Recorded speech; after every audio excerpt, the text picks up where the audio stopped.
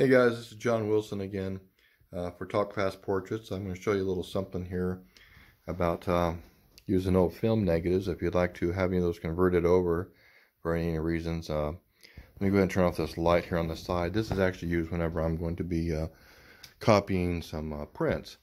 But for today's purposes, I'm just going to show you some something about these negatives, especially these older negatives hardly anybody shoots anymore. Um, some people do, believe it or not. But anyway, what I've got here is a couple strips of uh, medium format film. It's uh, from 120 or 220 roll film. Uh, this is back from the day when I was shooting with 645 uh, Pentax cameras, uh, mostly shooting weddings, of course, but you know, this is old Kodak Vericolor.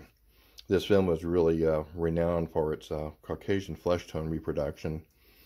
Um, but anyway, these negatives are also, uh, because it's 645, these negatives are like three times, almost three times the size of these uh, 35 millimeter negatives.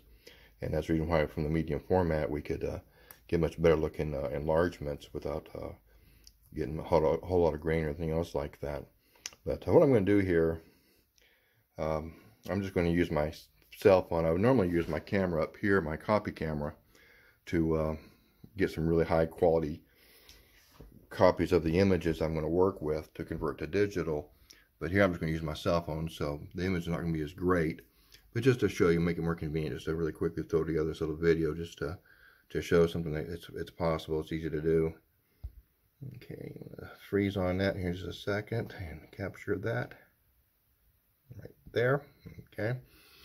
Now I'm going to do is just transmit that over to the computer. It takes a few seconds. Now make my way over to the computer. Take me a second, bear with me. I'm not going to do a whole lot of editing of this video. Okay, now get this on the screen. All right, here we go. There we go. Okay. All right. Let's see. There's the image I just captured. It's a, a negative. That's a, of course, that's a digital negative image now. And let me get my button over here. I'm going to convert this just quickly for convenience. You can make it look a whole lot better. Let me get this button right there. Okay. There, there we go.